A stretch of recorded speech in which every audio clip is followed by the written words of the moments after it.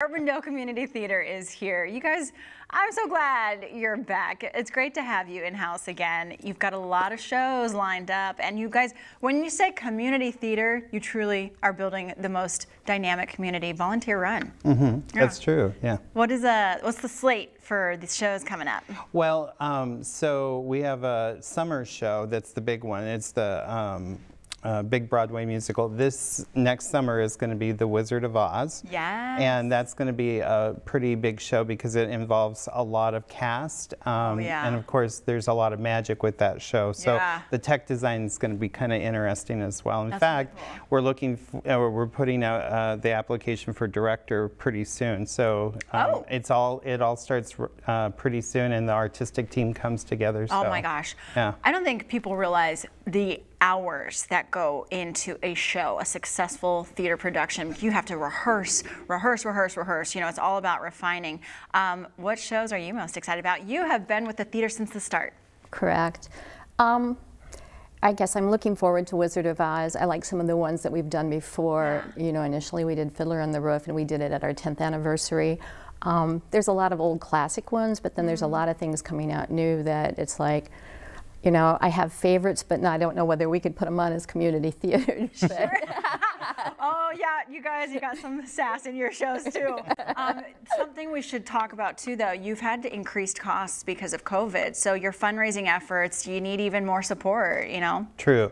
Yeah, like everybody, um, participate. Um, sorry, participation in terms of uh, volunteers um, and their donations and support from that has not been as robust as Sure. it used to be. So it's even more important now because w- along with COVID issues, there's been increased production costs. And Yeah. so um, unfortunately that just puts more strain on a budget. So that's part of the reason why we're doing our fundraiser uh, in two yeah, in two weeks. So I love it. Okay, yeah. so how can people get into that?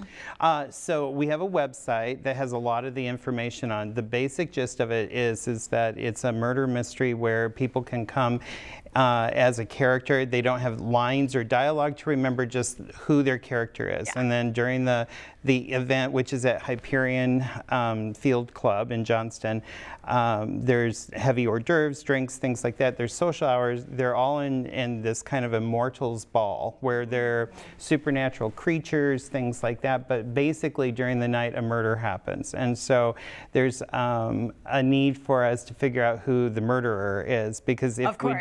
Don't, they will go on to continue Kill to murder. else. Yeah, and so it, it'll be a lot of fun. There'll be prizes for the best costume and and uh, best characters Yeah. and things like that. So, um, but hopefully also it raises awareness about what we do for this community and uh, generate some funds and have a good time. Before we Yeah. go, Yeah. your website. How can people get involved uh, beyond this too? Okay, so if you Google Urbandale Community Theater, it'll pop up for you. But on the website, there's a tab that says events, and right there you can read about the different characters that are involved. There's still time to sign up for that, and then uh, you just kind of register there, and and uh, it's got all the information that you need. Love So, it. Thank you guys yeah. so much for being here. I can't wait to see how this all unfolds. A lot of personality. Yeah.